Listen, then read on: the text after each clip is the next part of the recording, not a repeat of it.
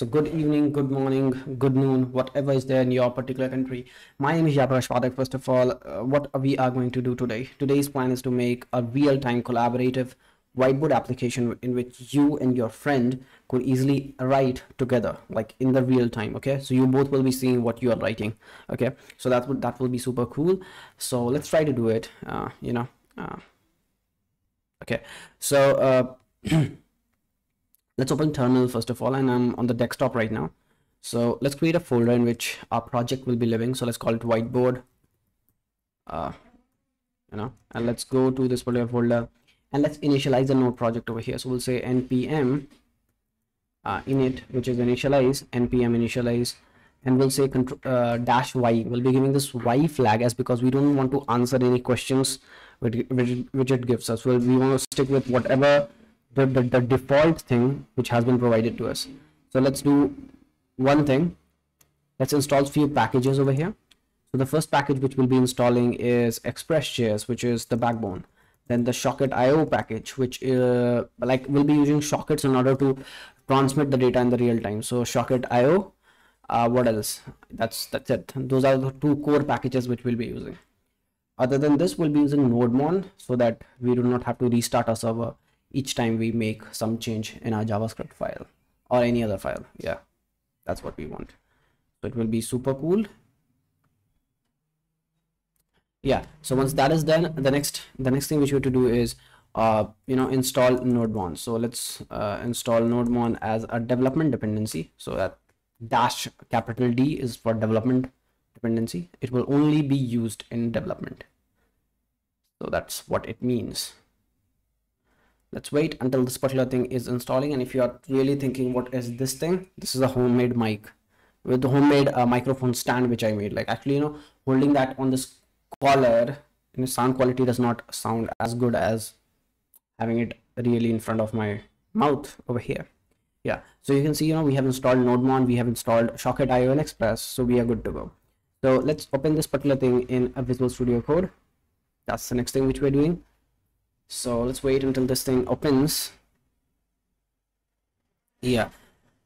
So yeah. So our, our project is open in vs code. The next thing which we'll be doing is creating a few files few files few folders which will be which will be required. Okay let's let's close this starting page and all. So uh let's create one particular thing which is called index.js now this is where application let's make a basic express application. So the express is equal to require require require express. Okay. And the next thing let's call it app and let's initialize this thing. Okay. Uh, let's call a port and the port which we want to work is if there is a port already specified by the server we want to launch our application on that. And this is pretty useful if you want to deploy your application on Heroku or something because you know this gives error if you give uh, like okay. So listen uh, we want to listen on this particular port which has been given to us. And after this our server starts we want to basically log uh you know we want to log uh, server started on on not on port. Okay so on port um something like port 8080 uh port whatever port we are on. So this will basically log on whatever port we are. It will basically show that. Once that is done we want to do a few things. First of all you know i have missed one thing. You know this is not how you write a socket io server. That's little different so you know you just have to create an http server. So http server. And let's say require and you know http and and just pass the app over there. And now you can say over here instead of app.listen simply write uh, what? Http dot http server dot listen once that is done uh, you can actually initialize the socket io thing. So you can say require uh, socket io uh, you know once the socket io is there you can uh, basically pass this the http server which you have and you are good to go. So now there are a few more things which we need to do over here. First of all uh, we want a public folder in which all our front end that is html file and all will be there. So let's call it a public folder. Public folder in which all the html file will be there and we, we want to serve it statically. So let's call it like uh, uh, app.use uh, express dot uh, that express dot uh, wait there's something wrong. So express we have written the spe spelling of express is wrong so let's call it express now that's okay. So now we can say express dot static and we want to make this public folder static so just we have to pass the name of the folder over there so once we have this anything which you put over here let me actually show you. If i just you know write index.html and if i create a basic markup let's call it whiteboard app. Okay. And let's give it hello everyone. Okay. So if i just do this and if i start my application to start my application i have to go to the package.json file remove this test script okay?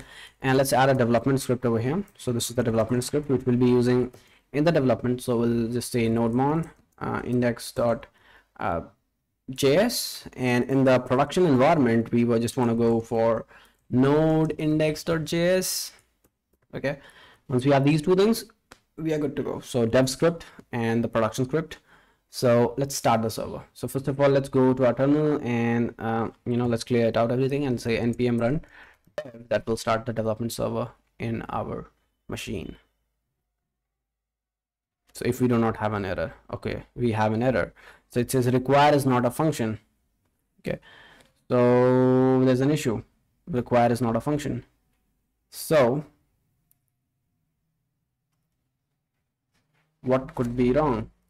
Okay yeah yeah yeah i remember. There's a function called create server and we have to pass this. So this is actually http is not a server. I believe now yeah now our server started without any any of the issues. So you can see server started on port 8080 successfully. Okay. Uh, so now uh, as our server has started we can open any browser and okay and we can see the web page in our public folder as because we have made it that static so let's wait until our web browser opens. Yeah. So uh, let's call it localhost. Uh, port we are on port 8080 i believe. Yeah you can see hello everyone. We are serving that html file from that particular uh, you know folder uh, directly from our server. That's great. So once that is done uh, we want to work actually start working on the html file which we have. So let's remove this and let's add only a canvas uh, we'll not be keeping the front end part really really nice looking. You can create a very nice looking and you can add all other extra functionalities. I'll definitely give you an idea about how you can do it but i'll definitely teach you the core functionality that how to make the real time thing and how to make you know how you can draw on this canvas and all. So that i'll definitely cover. So let's call it canvas. Once we have mentioned the id we can go to uh, we can go to uh, you know we have to create one more thing over here the front end script okay. So let's go to this public folder. Let's create a uh, thing called script.js which will uh, you know and we have to include this in our html file. So script source the source is this uh, script.js file. So once those things are done the next obvious thing which you have to do is uh, you know start start working on on on our front end. So let's first get the canvas. Uh, okay? And like it's document dot get element by id and the id which we have is canvas i believe. That's the id which we have right? So canvas yeah. So you can see canvas. And the next thing which we, want to do is basically get the context out of that canvas. So we'll say canvas dot i think it's get context. I don't exactly remember. Uh, is it get context? Let me actually see uh, unable to connect. What happened? Okay. Yeah. So uh, let's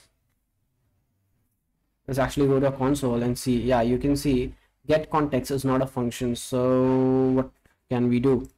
Html canvas uh, canvas element dot dot context. Uh, let's let's search for this that uh, canvas. Canvas uh, get context. Okay so basically you know uh, you have to pass 3d or 2d over there. So you know if you go to the mozilla firefox mdn documentation we can have a better idea. It's like get context and then you have to pass the dimension. So get context and you have to give like 2d i believe that should be fine yeah that's fine. And this is like a default error you know we cannot do anything about that. We can definitely do we can, you can serve a favicon over there but right now we do not that's not the thing which we are focusing on. So once that is done the next thing which, have, which we have to do is set the width and height of canvas. Canvas has a small width and height i think 132 or something like that as a default. But we want to give whatever uh, uh, width and height we have of the window. So we'll say inner uh, width and then we can say canvas dot height is wait not that. Uh, canvas dot height is equals to window dot inner uh, height. Once we have those two things the canvas will be covering all the screen like like all the space in the screen. The next thing is we have to first draw on the screen okay? So we have to like we have to learn how to draw then only we can make it real time okay? So we just want to call a thing called window dot on mouse move. So first of all i just want to give you an idea about how does this thing work okay? So if you if i just say context dot uh let's say you know move to this will move to any location which you want okay? So if i just want to move to 100 100 so i can say xy just move to like the cursor will move to 100 100 and if i just say context dot line 2 so this will give a line. Uh, let's say you know i want i want from 200 200 so if i just say this and then you have to say uh, ctx dot stroke. So basically that will give you so basically basically that will give you a stroke. So if i just save it and refresh this part of the thing you can see we have a tiny line over there. Can you see that? Yeah we have a tiny line over there okay uh, that's great. So we have a line over there and that's the concept which we're using. So we will be drawing this particular thing as our as our mouse moves. So first of all it's very very thin. First of all you know this height is a bit more. So what, we'll do is like we will just uh, multiply it with 0 0.98 which will make it like 0 0.98 uh, percent of like 98 percent of whatever we have. So let's refresh this. Uh, okay let's forget this for now. So let's move forward. So the next thing which would i think you got the, got the concept how we are drawing right? So this is how we draw. So let's actually you know call it window dot on mouse on mouse move. So whenever we move a mouse it will trigger a this particular function with that particular event so we can get an x and y of the mouse. So let's make it a global variable this x and a y because we may need it later on. So let's call it x and the y okay? Uh, let's call it x is equal to e dot client x. That will basically you know give you the x position of the cursor uh, of where your cursor is. And you i can take uh, client y for the y position. If i just log that thing out you know if i just say x comma y you will see what i what do i mean. So if i just go over here refresh this particular thing and just okay what happened? Invalid arrow function argument parentheses oh there's something wrong in our arrow function let's see. Okay okay sorry sorry i just forget to give a equal to over here. So now if i could just go uh, over there you can see you know all the xy position of my cursor updated like as soon as I move my mouse over there on the console. So once we have that, let's remove this uh, log because we don't want to log it. We want to draw it, right? So what I'll say is um, just uh, ctx. We'll say ctx dot line to.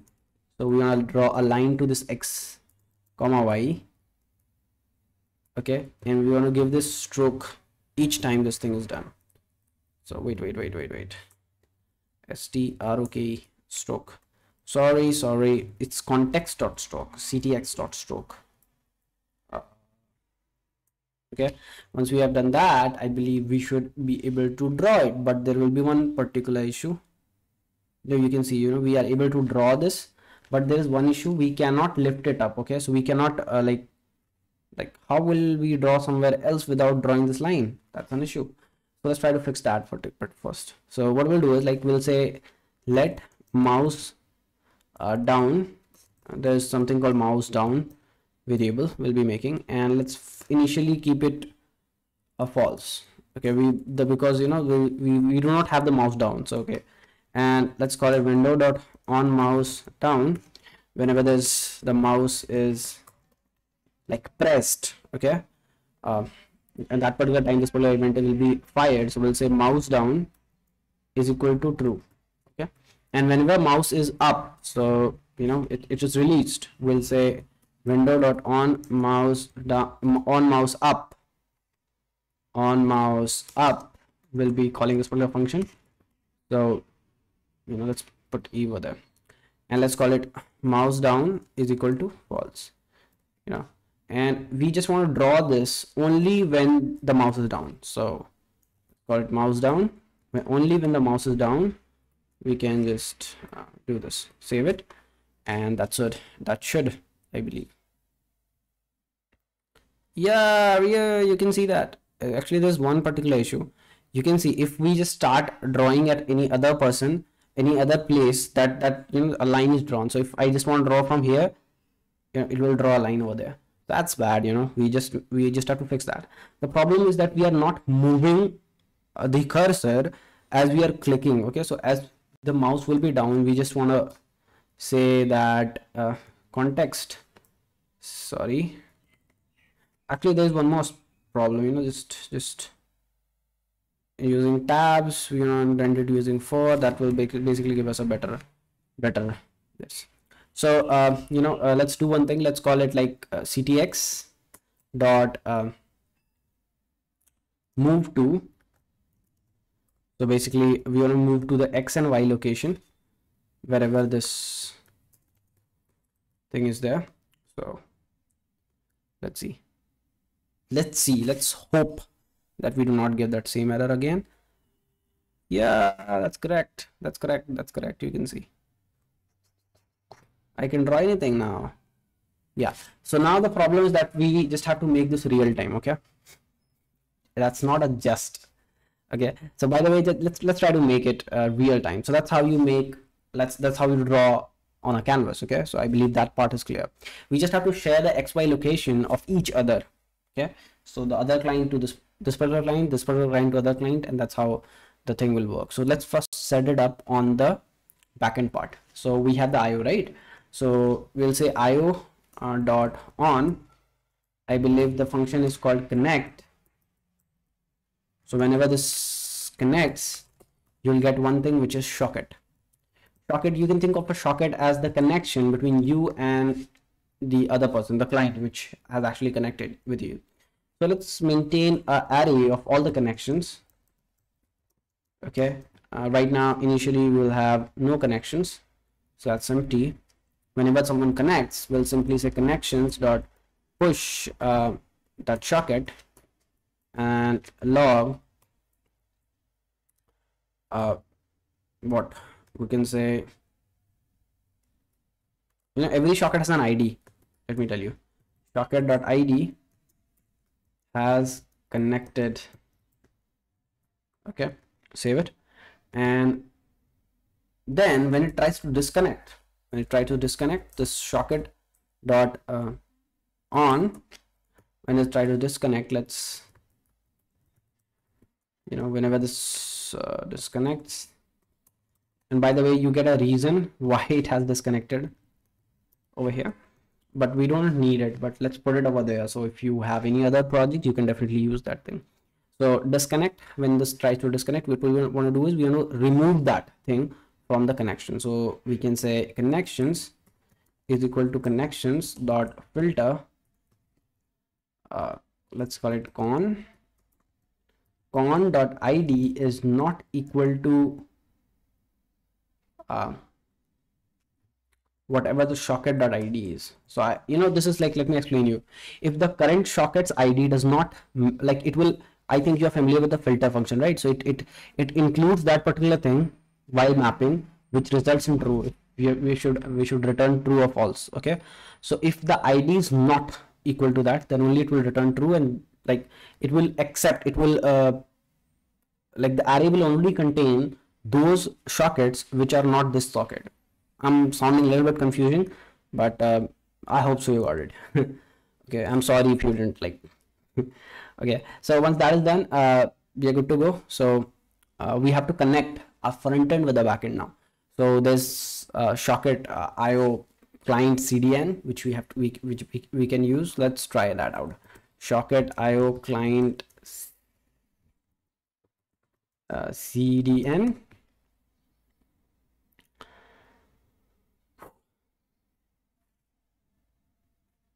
okay. There's some net connectivity issue i believe. Let's try to figure out.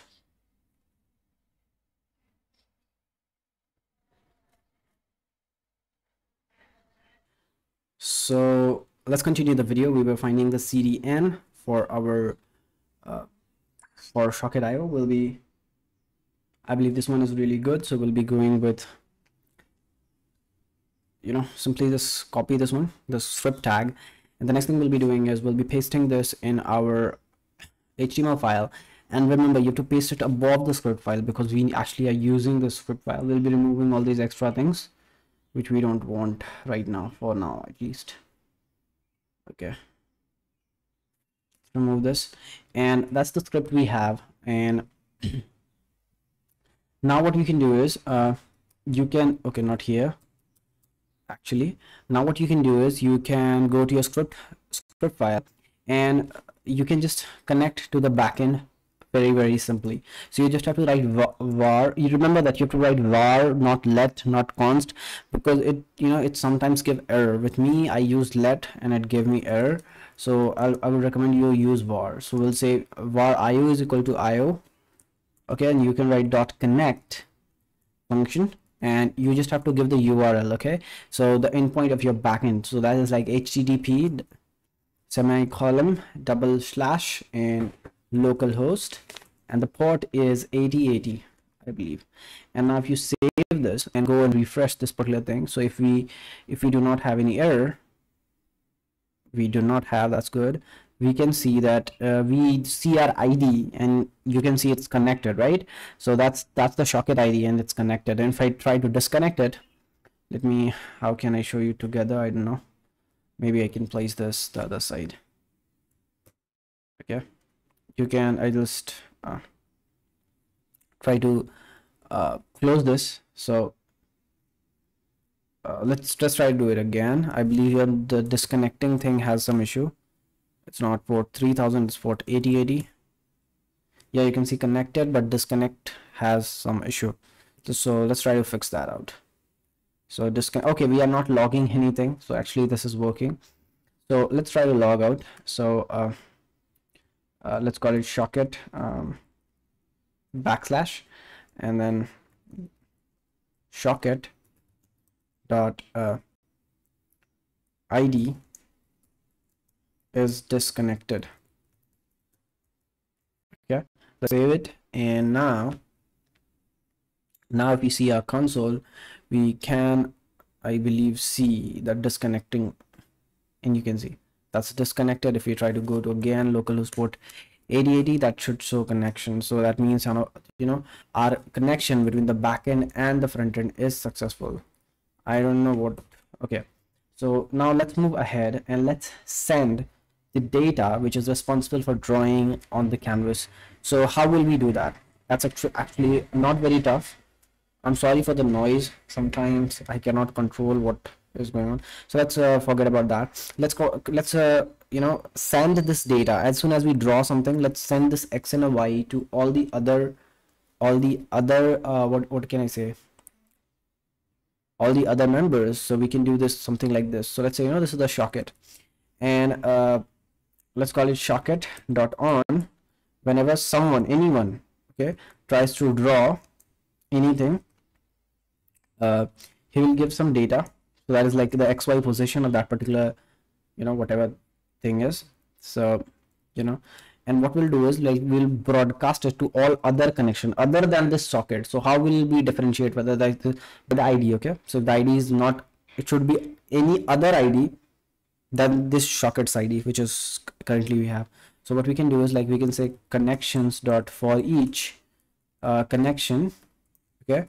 If the connection dot id is not the current uh, uh, socket's id so which is socket dot id uh, if that is not the case we simply want to uh, you know emit an event which is what? Draw. Should we like let's call it on draw and we'll just pass x and the y location. Now what is this x and a y location? This is the same data which we are receiving from the other person. data dot x data dot y. Uh, why is this giving us errors? Because actually we have to name this. So let's call it x and let's call it y.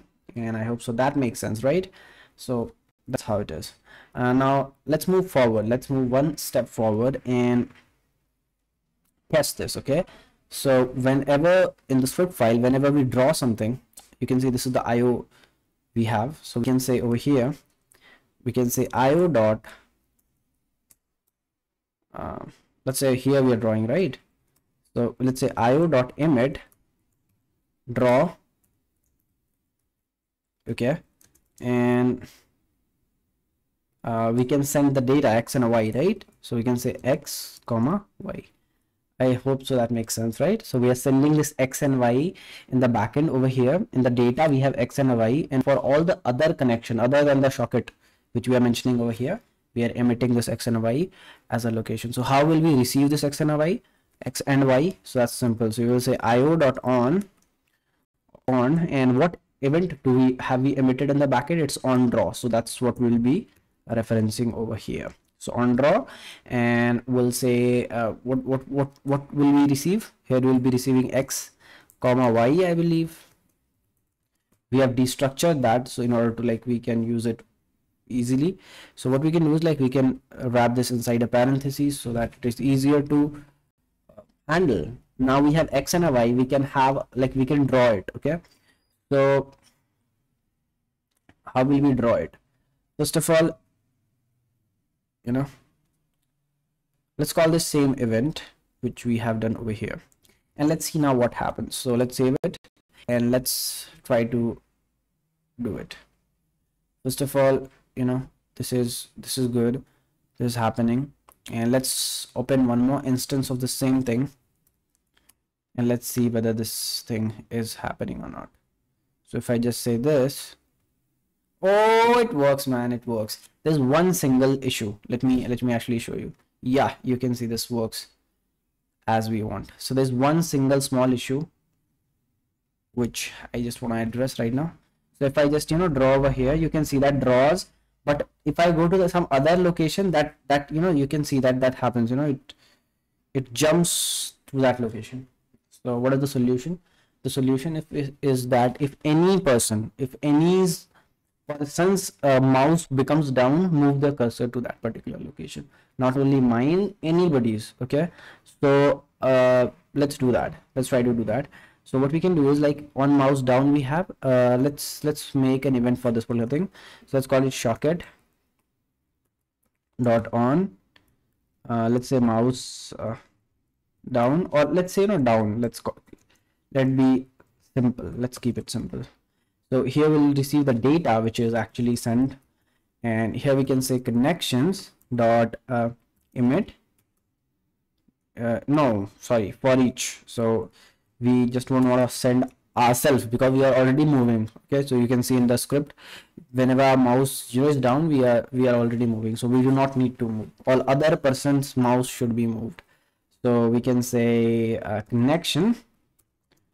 And we can say uh, if same thing connection uh, sorry connection dot id is not equals to uh, socket dot id uh, we can say connection dot emit and let's call it on down this this particular event. And now actually we don't want to send any data over here but okay we want to send any data the x and y location right we want to send the data. So it's a data. It's the same thing man data dot x and y as data dot y you can see all these do these two functions are almost identical right? Yeah that happens. So let's let's uh, you know fire up this down event and let's see what happens. So if we just go to on mouse down we can now over here we have moved our x and y now we have to move all other persons x and y so we what we can do is we can fire this up. We can say io dot um, emit draw oh sorry down. I forget the name always. Uh, then let's mention the x and y over here. So let's say x comma y. And over here we can say io dot uh, on uh, down on down. It was like i think on down. On down yeah uh, we can say this is uh, x comma y it's pretty uh, same as before but the function is different okay? So we have to write context ctx dot move to uh, and uh, we can mention the x and y location over here and that will pretty much i think work. So if it will not work we'll try to fix it. So where's the other one? Over here. Okay that was the other one this is the first one. Let's try to refresh so that we have a clear clear canvas. So we can say you see you know we are in real time you know your friend and you can draw on a single canvas and it will work like this you know. Up so you you learn something right?